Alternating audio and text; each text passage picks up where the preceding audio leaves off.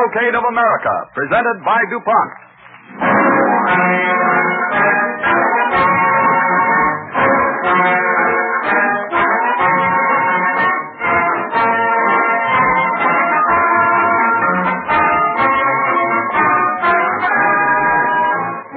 Today is Texas Day for the Cavalcade of America presented by DuPont. And the reason is that on June 6th, the people of Texas opened their Centennial Exposition in Dallas.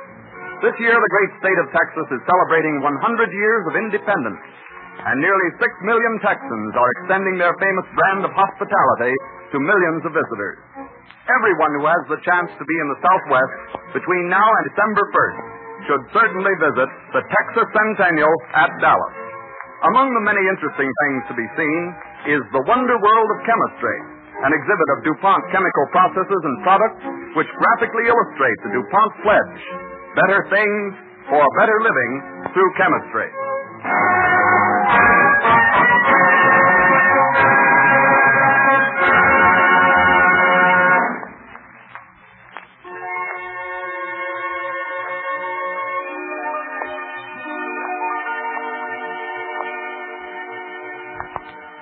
The DuPont Cavalcade Orchestra plays as an overture a special arrangement of three Texas songs Ride, Ranger, Ride, Green Grow the Lilacs, and the Ranger's song from Rio Rita.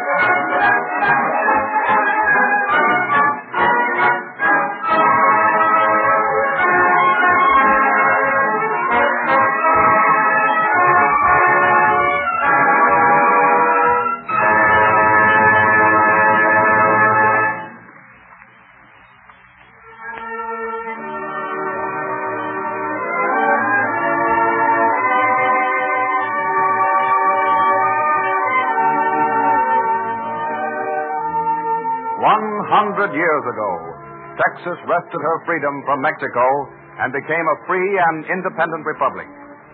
This evening, the Cavalcade of America salutes the people of Texas and, as a tribute to their achievements, presents historic scenes from the life of a man who, perhaps more than any other, deserves the name which a grateful posterity has bestowed upon him Father of Texas, Stephen Austin. But although Stephen Austin is known as the father of Texas, it was his father, Moses Austin, who first dreamed of colonizing Texas with the sturdy American settlers who were pushing westward. On a hot day in the year 1820, he presents a petition to Martinez, the haughty Spanish governor of San Antonio. Your Excellency, all I ask, as you can see by the petition, is a grant of land and permission to settle with 300 American pioneer families. As I said before, you need these settlers to hold Texas. And as I said before, Senor Austin, no. I have no intention of granting your petition. But, Your Excellency... You are wasting my time, Senor. Capitan. Your Excellency. Escort Senor Austin to his lodgings. My orders are that he leave San Antonio at once. Remain with him until he is safely beyond the Texas border. Your Excellency. I'm sorry, Your Excellency. If you change your I mind... I never change my mind. Come, Senor, you have heard the orders. This way, please. Yes, yes, I know. My mission is a failure, so I might as well leave. Nothing more for me to do here. You are most unfortunate, Senor Austin. I have spoken to the governor when he is in a very angry mood. Well, I gave him no cause to be angry. He needs settlers to hold this country. I offered him settlers and good ones, but he refused. Ah, but perdóneme, senor. You did not make him angry. It was his cook. Oh, what did the cook do? I- It was a pig. Oh, the cook made a pig of himself. Oh, no, no, eh? no, no, senor. Uh, the cook was not a pig. He was cooking the pig. So, and he burned it. The pig was to have been served for the governor's dinner. And when he heard it was burned, he was very angry. Do you mean a burned porker cheated me out of my land grant? Say, you, you don't reckon the governor might change his mind by tomorrow? Who knows, senor? But it will make no matter. For you will be on your way to Los Estados Unidos. But uh, come, senor Austin. We must be on... Say, say, hey, wait a minute, wait a minute, sir. Who's that distinguished-looking man coming down the hall? Ah, that is Baron de Bastrop, a close friend of Governor Martinez. Bastrop. Why, I know him. Met him when you Spaniards were running things up in Louisiana territories. So he's a friend of the governor's, eh? Si, senor. Wait a minute, wait. I, I'd like to speak to him. But certainly, if he is a friend. Uh, Baron de Bastrop, uh, these gentlemen would like to... Well, well, senor, uh, we have met before. You are... Uh... Austin, Moses Austin. Ah, but certainly, Mr. Austin. Ha. How are you, my good friend? oh, you must pardon my not recognizing you at first. It has been many years. Yes, a lot of water has passed over the dam since we met up in Missouri, Baron. Yes, there have been many changes. But tell me, how is it you're here in San Antonio? What uh, what brings you to the governor's palace? Well, Baron, to make a long story short, I came to see the governor about one of those land grants. Oh, I hear they're being handed out to anybody that'll contract to bring in a flock of settlers. But it seems the governor has indigestion from eating some burned pig. And he ordered me out of Texas. oh, but there must be some mistake, some misunderstanding. Huh. Come, come with me, and we will talk to Governor Martinez again. I have some influence. I think I can persuade him to recommend a grant for you to the Viceroy of Mexico. You may go, Capitan. I will be responsible for Senor Austin. Very good, senor. Shall I announce you to the governor? That is not necessary. He expects me. Come, Senor Austin. Martinez, my friend. Ah, Paro! Come in, come in, come in. Ah, but what's this? Why are you not on your way, Senor Austin? Uh, pardon, Excellency. Uh, I met Senor Austin as he was leaving. We are very old friends. I felt there must be some uh, uh, misunderstanding. I will vouch for Senor Austin. Oh, well, that is different. Much different. Only one who was vouched for by my good friend, the Baron. Well, Excellency, it's just as I tried to explain. Uh, if you see that I get the land grant, I'll guarantee to bring in American settlers. And you need settlers to fight off Comanches, and Plains Indians. Yes, yes. We need settlers if we are to hold Texas. I will recommend your grant. This very day I will send a special courier to the Viceroy in Mexico City.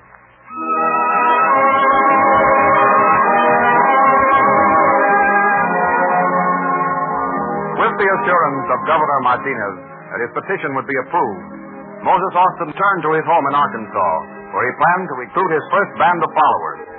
But it was a long and hazardous journey for a man well past the prime of life. Shortly after his return home, he contracts pneumonia. He begins to sink, and knowing death is near and his dream unfulfilled, he begs his doctor to call in his wife and daughter. Doctor, Yes, Moses. you can do no more for me. I know when I'm licked. It isn't going to be long now, and I'd like to have a few minutes with Mariah uh, and my daughter. Why, sure, Moses, I'll call them in. But you oughtn't to give up yet. Uh, I've got big plans. Big plans, and they've got to be carried out. You'd best come in, Mrs. Austin. Yes, Doctor. You too, Miss Austin. Thank you, Doctor. Oh, Moses, dear, how are you feeling now? I'm getting weaker, Mariah. I won't last much longer. And before I go, I want you to promise me something. Oh, Moses, you can't leave us. Not now. Just when you got your grant, folks are counting on you to lead them into Texas. Well, I'll be with them in spirit, Mariah, but that won't help 'em much. They gotta have a leader. A real leader. You ought to try to hold on, Moses. Your son Stephen will soon be here from New Orleans. Uh, that's why I want to talk to you, Mariah. He's our son, yours and mine. Yes, yes. We've made all our plans to meet in Nacogdoches next month. He's bringing some settlers from New Orleans. Yes, Moses. You, you gotta promise me you'll meet him. Tell him he's gotta take my place. Carry on for me. Take up the grant. Now promise me, Mariah. Promise me you'll make Steve carry on. I will, Moses. Carry on.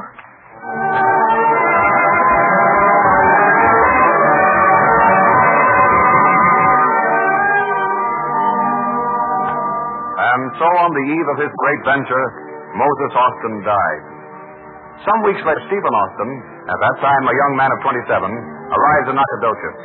He and his party of settlers have just made camp on the outskirts of the town. He is surprised to see his mother, who has just arrived. Watch that log here now. All right. Stephen! Stephen! Why, Mother, what are you doing way down here? Well, Dad, Your father couldn't come. you don't mean he couldn't get folks to come? No, take that, Stephen. They're coming. But your dad ain't ever coming. What? Oh, Stephen, it breaks my heart. Well, Mother, you mean, you mean he's dead? Yes, son. Oh, Ma. He was wishing he could see you again, but he knew he never would. So he made me promise to come meet you. He wanted you to carry on. He wanted you to go on to Texas and do what he was planning to do. You'll do it, son, won't you? You'll lead the settlers into Texas and take up the ground. It's a mighty big job. I, I don't know. It's kind of staggering. I'd count on Dad. We all did. But now we've got to go on. Do the things he'd set his heart on doing. He'll do it, Stephen. It was his dying wish. All right. All right, Mother. I promise. I give you my word I won't ever let anything stand in the way. We'll take up the grant. We'll settle in Texas and help make it all the things he dreamed it would be. Oh, I knew you'd do it, and you can, Stephen. Here comes some sort of official. I reckon he wants to see us. Oh, oh, oh. Are you Senor Moses Austin? Well, no. Uh, I'm Stephen Austin, his son. Oh, well, perhaps you could tell me where I might find your father, Senor. Well, I'm sorry, sir, but I just received word that my father's dead. Oh, a thousand pardons, senor. I have an urgent message, but uh, perhaps I should not speak now. Has it got something to do with my father's land grant? Unfortunately, yes, senor. Well, then you can give me the message. I'm now on my way to take up the grant which the Spanish government gave my father. Ah, then you have not heard of the revolution? What revolution? Well, Mexico's revolt. We have driven out the Spanish. Mexico is a republic. Well, now, maybe that wasn't a bad idea. Spain didn't rule Mexico any too well, according to my father. Yes, that is very true, Senor Austin. But uh, you do not understand why I am here. I come as a friend of your father to warn you, that the new government may not recognize the grant which the Spanish authorities gave him. Oh, but they must. Mexico needed settlers to hold Texas against the Indians even more than Spain did. Yes, they will. But in Mexico City, they do not know that. But I've got to have that grant. Hundreds of families have given up everything to come and settle in Texas. Oh, that is most unfortunate. But I'm afraid. But if I could talk to the officials of the new government, they might approve the grant. See, see, they might. Oh, but but they are in Mexico City. It is 800 miles, many weeks by horseback.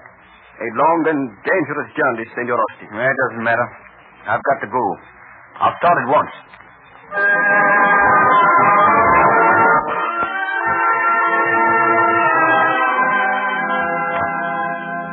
Stephen City was not in vain. His father's grant was confirmed. A vast coastal tract bounded by the Brazos and Colorado rivers. In 1833, 5,000. But conditions in Mexico remained chaotic, and Texas was the pawn of every faction. The land grants were constantly threatened, and finally framed a petition to the Mexican government requesting that Texas be made a separate state. Stephen Austin was delegated to go to Mexico City. Riding south, he stops for the night at the cabin of one of the settlers. The settler and his questions. Things ain't looking none too good for us, Mr. Yes, I know. These are pretty much the same all through the settlements. I don't know, Mr. Austin, which is the worst, the Indians or the Mexican Revolution. You can't rightly call them revolutionists, Miranda. One week they're the rebels, and next they're the government. I reckon we get more of them than the folks up there this way. Oh, it's bad up there, too. That's why we called a meeting. That's why I'm on my way to Mexico City now. You going all the way to Mexico City? Yes. Carrying a petition from the people of Texas. Asking that we be allowed to have our own local government. Collect our own taxes. Set up our own defenses against the Comanches. That's what we need most of all. The Mexicans ain't ever been no match for them pesky Comanches. Did you hear about how they wiped out that whole settlement up to Colorado? Scalped every man, woman, and child, and run off all the cattle, and burned the place right down to the ground. Yes, we heard about it. Things like that just can't go on if we're ever going to hold this colony. If we only had a small band of fighting men, men with good, fast horses, we could deal with the Plains Indians ourselves. We're planning on organizing something just like that. But well, we can't do it unless the Mexican government makes us a separate province. Uh, petitioning ain't going to do no good. You mark my word, Mr. Dawson. We ain't ever going to have no law and order. We ain't ever going to be sure our homesteads till we run them Mexicans slam bang across the Rio Grande and set up a free country for ourselves. Well, we're not strong enough for that. There's only about 35,000 Americans all told. No. we've gotta hope for a peaceable settlement. Yeah, but who do you reckon that could be riding here in such an all-fired hurry at this time of night? Do you reckon it could be our boy Lance? Oh, don't expect so. He went up the river looking for stray cattle. Didn't figure getting back before tomorrow night. Oh, it is Lance. Hey, Paul! Paul, get your rifle and come on. What's doing, son? Comanches about this you. Are they coming this way, Lance? No more. They're swinging north, heading toward the folks on the branch. What? Howdy, Miss Austin. Howdy, Lance. Say, we're going to give them Redskins a surprise this time. Yeah, that settles it. I'm pushing on to Mexico City. I see now there's no time to waste. We've got to get the right to organize and protect ourselves before we're wiped out.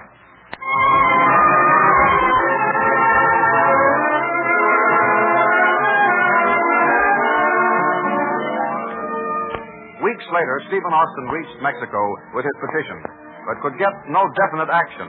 And knowing the desperate need of his compatriots back in Texas, he wrote them, counseling patience, but advising them to go ahead with their plan. This letter was intercepted, and one day Austin is summoned to appear before the military tribunal. Thinking at last he is to get a hearing, he goes to the presidential palace. The Dutchman? Up!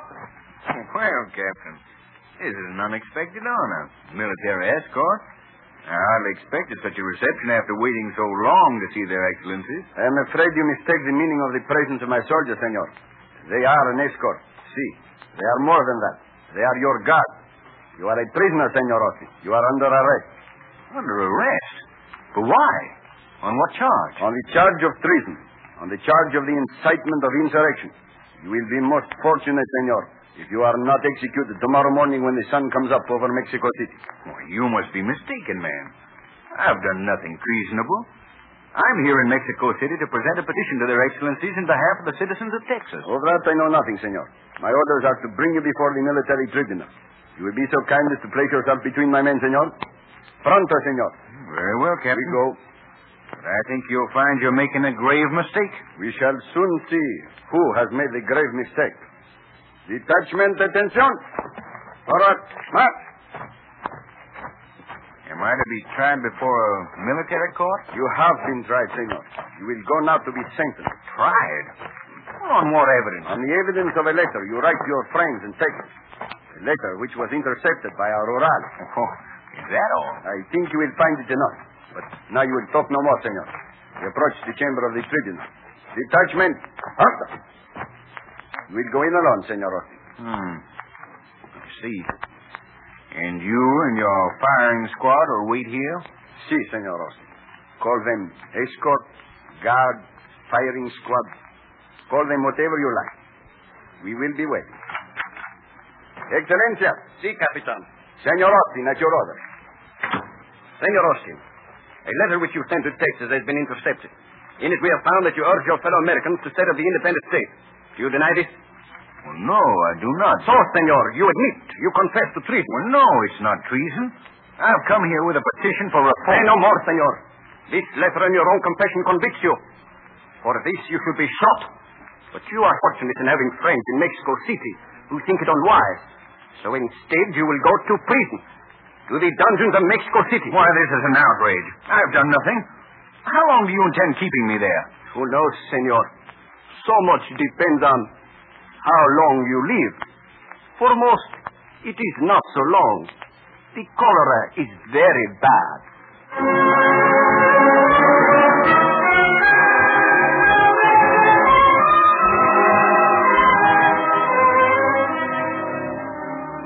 For over a year, Austin was kept in prison in Mexico City.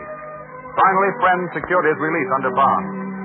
Six months later, wrecked in health and prematurely aged by his prison ordeal, he was permitted to return to Texas. Austin took with him the promises of Mexican officials that something would be done to reform the government. But he was convinced that the sole salvation of Texas lay in separation from Mexico. And on May 2nd, 1836, a convention of Texans meets at a settlement on the Brazos. It is a momentous day for Texas. Present are Stephen Austin, Sam Houston, and Burnet. And so it is declared, it is declared that the people of Texas do now constitute a free, sovereign, and independent republic. Austin, Burnet. Yeah, what is it, General Houston? Come in the back room. I have something to tell you. But, General Houston, there's much to be done. We've declared independence, and I've been elected provisional president. But we must prepare the Constitution. We don't work mighty fast. We won't need a constitution. Here, through this door. what is this that's so important, Sam? Gentlemen, I've just received grave news. The Mexicans have taken the Alamo. What? The Alamo taken? Travis and his entire garrison have been wiped out. When did it happen, Sam? Are you certain? Yesterday, two Mexicans rode into town an hour ago and told me. And every man in town will know. Well, there'll be a panic. No, I've arrested the two of them as spies. The news mustn't get out until I've recruited men. Santa Anna and his army will come this way. He'll come to finish the job, and we must be ready for him. Well, we'll have to move our headquarters then. Yes. It'll be safer at Harrisburg. We must form a government the nations of the world will recognize. Otherwise, we're nothing more than a band of rebels. Well, that's your job, yours and Austin's. Mine's fighting to keep the freedom we've declared rightfully ours. You recruit your army, Sam. We'll get recognition. We'll back you up. You want to go to Washington, Austin. They know you up there. We're Americans, and they'll help us. Yes. Yes, that's one of the first things we've got to have. Recognition of the nations of the world. And if Washington will recognize us as a free and independent republic, the others will follow suit. Then you'll go, Austin? Sure, you'll go. Ain't Steve always put Texas ahead of anything else in his whole life? I'm going out there. You can't lead an army till you got one. General Houston! General Houston! Come in, come in, man. General Houston! The Mexicans are coming, General Houston. They're coming this way. Santa Anna's lost no time. Well, let him come. We'll show him what the free and independent Republic of Texas can do.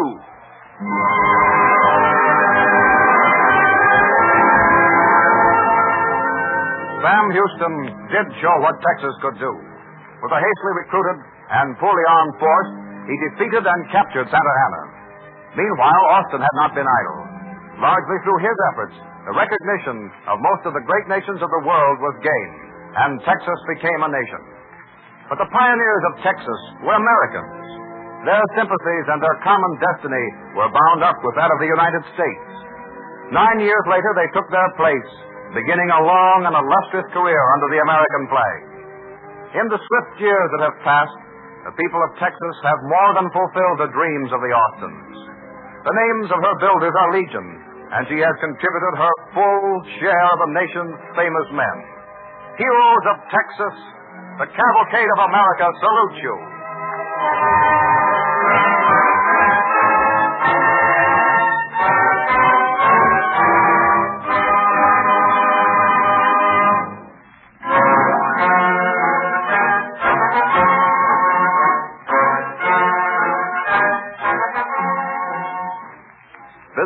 To the Texas Centennial Celebration at Dallas, which opened on June 6th, will see the forward march of chemical science dramatized in the wonder world of chemistry, a colorful and comprehensive exhibit sponsored by the DuPont Company.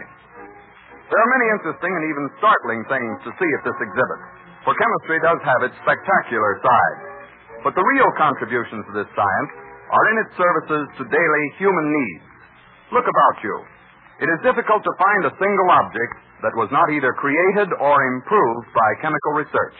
The clothes you wear, the food you eat, the car you ride in, the home you live in. Chemistry touches them all. Why is it that chemistry is able to continue giving us a steady stream of new and better products?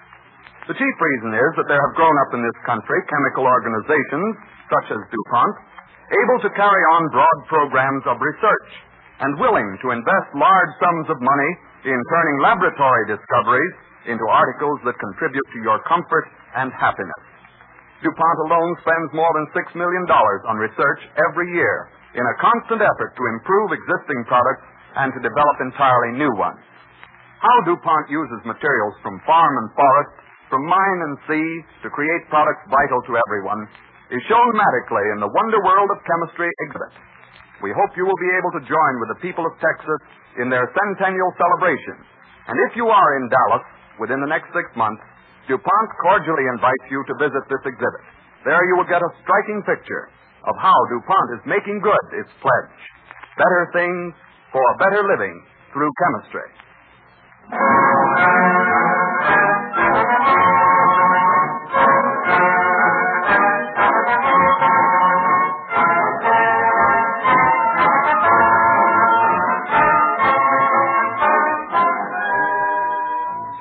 Builders, stories of John Fitch, Robert Fulton, and Eliphalet Nott will be broadcast next Wednesday evening at this same time when DuPont again presents The Cavalcade of America.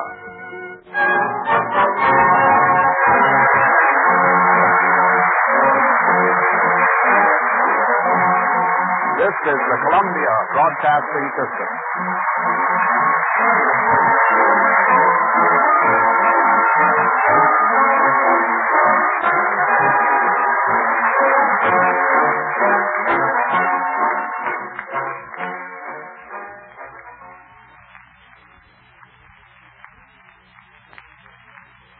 WABC, New York.